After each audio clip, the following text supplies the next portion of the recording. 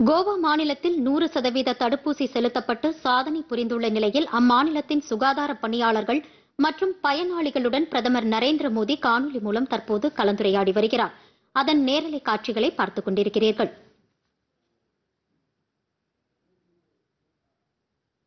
संकल्प को साकार कर पा रहे हैं लेकिन कभी कभी मैं तो हमारे चीफ सेक्रेटरी से आग्रह करूंगा कि इतनी बड़ी सफलता के पीछे लॉजिस्टिक सपोर्ट क्या होता था?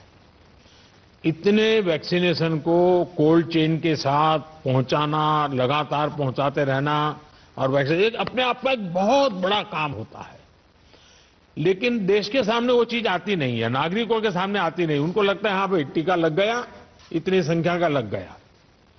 और कभी कभी तो लोग आलोचना भी कर देते हैं। मैं तो अभी मुझे एक सज्जन मिलने आए थे, वो मुझे बधाई दे रहे थे। हफ़्ते पहले की बात है कि देखिए देश ने तो एक करोड़ क्रॉस कर दिया, बहुत बहुत बधाई। मैंने कहा, इतना तो आपको आनंद आया, लेकिन कभी आपने सोचा है कि एक करोड़ लोगों तक ये वैक्सीन पहुँचती कैसे है? मैंने उनको कहा कि मान लीजिए कि आपका घर में नौकर चाकर जो है, उतने ही हैं, परिवार के सदस्य उतने ही हुए और आपके घर में 20 मेहमान आ गए। और 20 मेहमान को बिठा करके खाना खिलाना है। और उतने ही नौकर चाकर है। तो मैंने कहा, बताइए कितनी मेहनत बढ़ जाएगी और 20 लोगों को खाना खिलाने में कितना टाइम चला जाएगा? तो उन्होंने कहा हाँ ये तो कभी सोचा ही नहीं।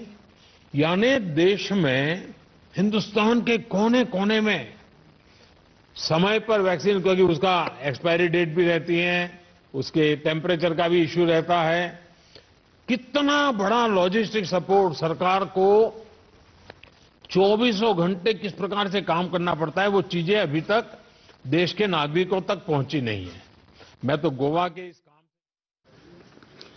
கோவாவில் பதினெட்டு வயதிற்கு மேற்பட்ட அனைவருக்கும் முதலாவது தவணை தடுப்பூசி செலுத்தப்பட்டு சாதனை படைக்கப்பட்டுள்ளது இனி மற்ற செய்திகளை காணலாம்